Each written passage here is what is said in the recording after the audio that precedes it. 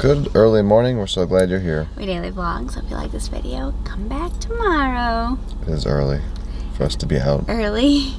Um, but we're touring our pediatrician's office today. Look what's behind me.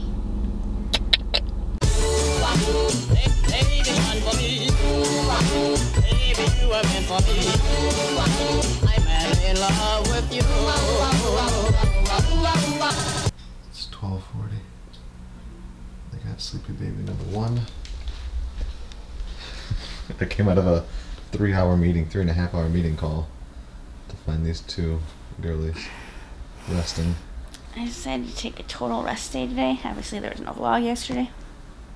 I didn't think I'd sleep all day, That's restful though. but I feel good. All right. It's just before five, and Sarah and I have discussed we're not getting whatever we're not getting whatever that is. But right over there is a Publix, and it's Wednesday, which means they should have their sushi deal. So we're having sushi for dinner. So it's just started to rain, and Eve looks over at me. She's got a bunch of little raindrops on her because we have had like the window cracked. She likes to like sniff outside. Whoa, goodbye. But she looked over at me like, hey, what's going on? Why am I getting rained on? Eve does not like the rain, um, so she's probably just getting comfy by the door. But Peter just went to Publix. Is it too loud with this rain? I decided yesterday to take. Okay, so yesterday we didn't film much. We binge watched the last six episodes, which are like 45 minutes each, of the new show Utopia, which we had started and talked about before. Really good. Weird to watch when you're experiencing a pandemic yourself. Um, more violent than we expected, um, not for kids. Um, but the storyline just wasn't what we expected either. Really good. We enjoyed it. But we barely filmed. And so towards the end of the night, I was like, why don't we just not even try to salvage a vlog that'll give me tomorrow like a full day off. So I didn't have a vlog to edit. I didn't do any freelance work. I didn't do any prep around the house. Like I was just like, I'm going to take today totally. I'm gonna close this window real quick. Hopefully that's a little less loud. Um, and so typically on days where I decide to not do anything, I don't feel as guilty because it was like I'm in control. It was my choice not to do anything. Um, but it just felt like it was just one of those days where like even though I didn't do anything, it felt like it went by really fast. Um, I enjoyed it. I slept a lot. I just chilled. We decided we are going to start Gilmore Girls again. Um, but just overall, like it kind of, it didn't maybe like scratch the itch I thought that I needed. So I do feel my anxiety kicking in a little bit. Like I didn't enjoy it the way I should, even though it was a great off day. Um, I do have a decent to-do list for the end of the week. I know we have a good weekend coming up, so that is definitely helping. Um, but yeah, it was just, it's just kind of one of those days. Peter kind of has a headache.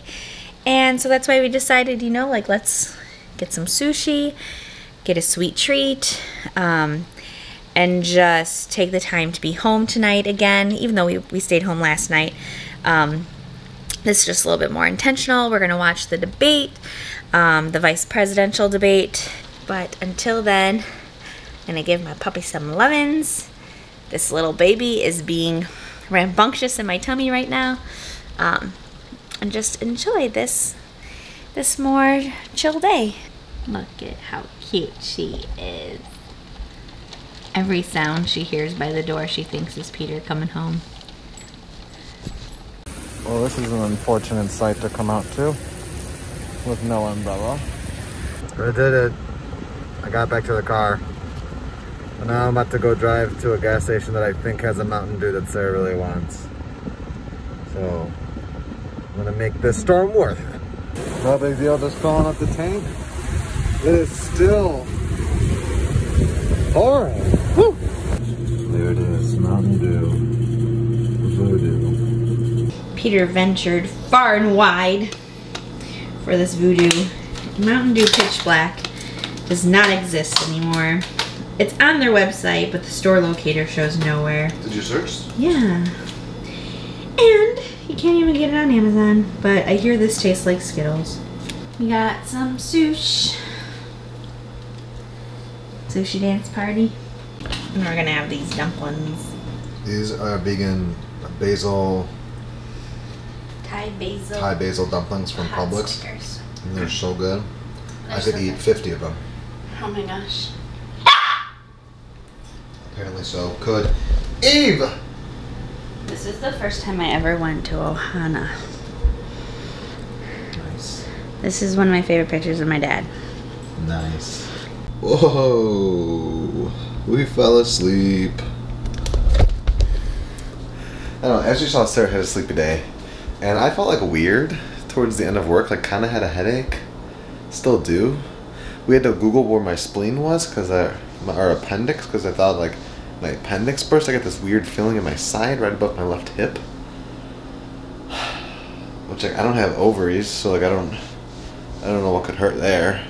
Anyway, I thought it was a good time. We are gonna watch the vice president's debate, so I just woke up saying I was like, hey, it's eight eighteen. It's a good time to like get up and relax. Maybe watch Casey Neistat's newest five minute vlog, and just like hang out and like wake up before we, so we don't go straight from like being asleep to watching a bunch of politics. Because like in in reality, politics isn't really fun, but it's just like important to be aware.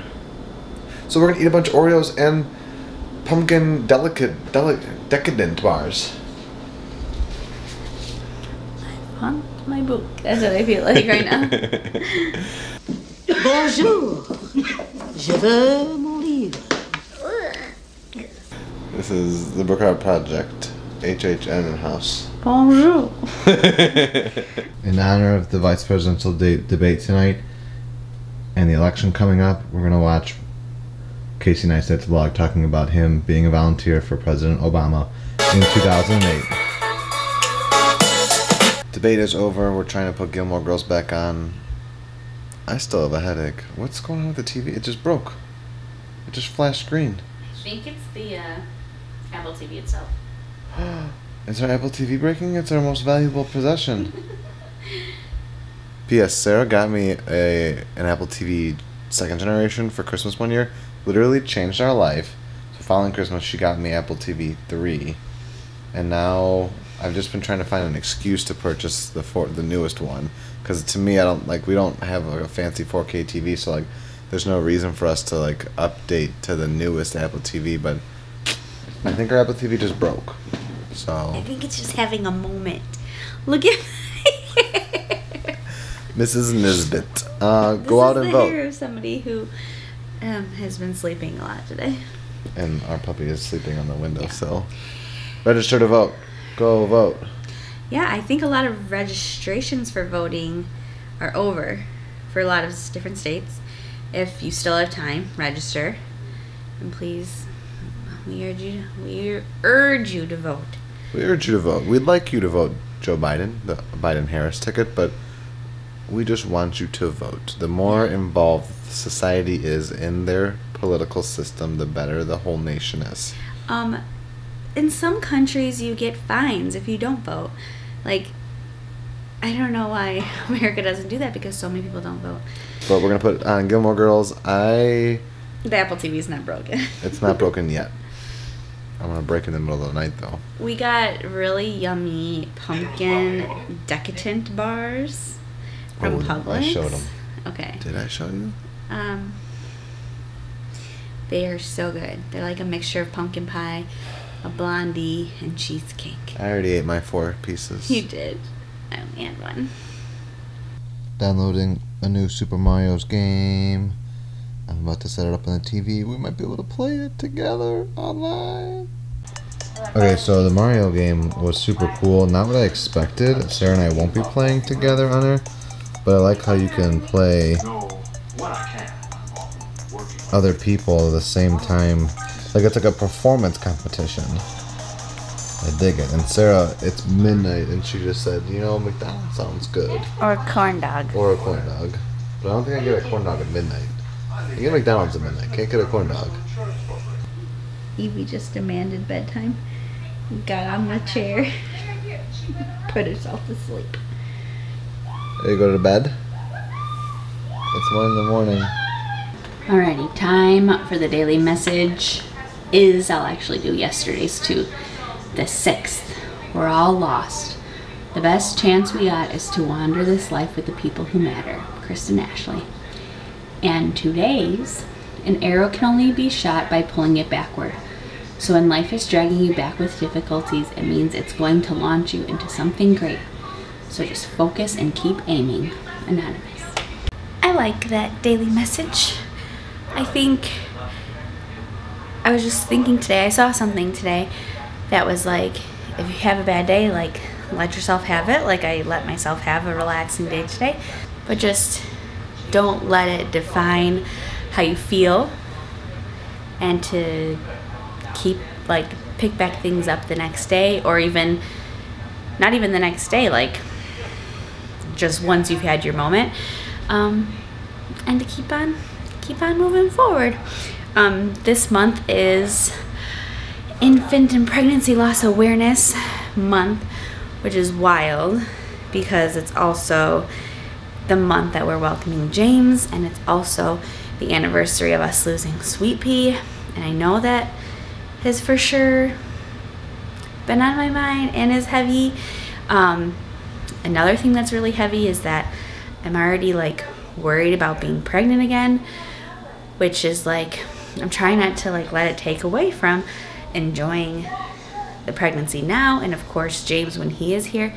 But it is just such a funky thing that infertility kind of throws at you is that you don't know what's going to happen next um, and how you'll react and if you'll be able to get pregnant naturally, to do treatments again, and all of that.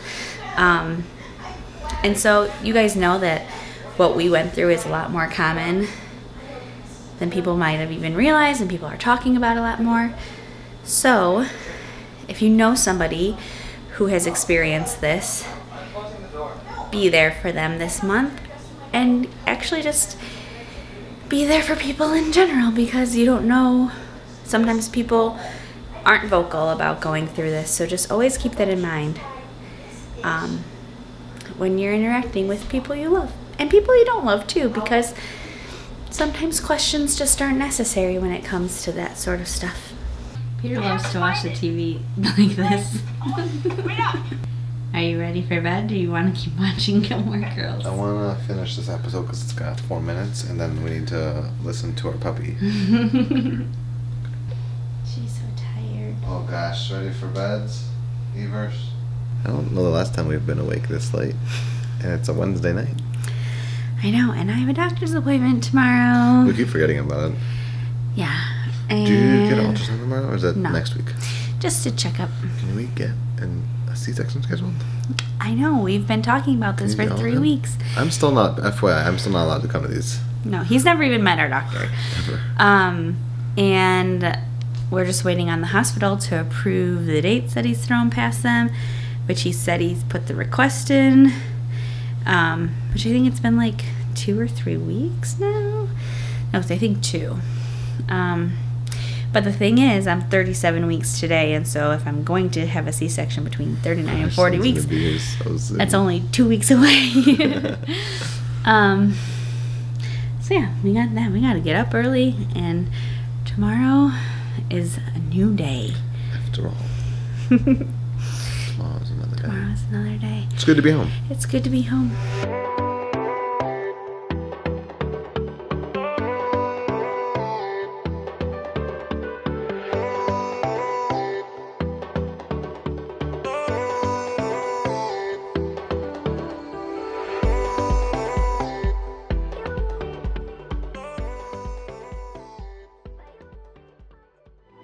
We know what our goals are.